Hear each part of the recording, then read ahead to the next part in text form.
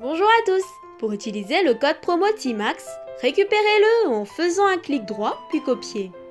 Rendez-vous sur TIMAX, ajoutez vos articles dans votre panier en respectant les conditions du code promo. En bas de votre panier, collez votre code promo. Cliquez sur OK pour voir la réduction. A bientôt sur moindépenser.com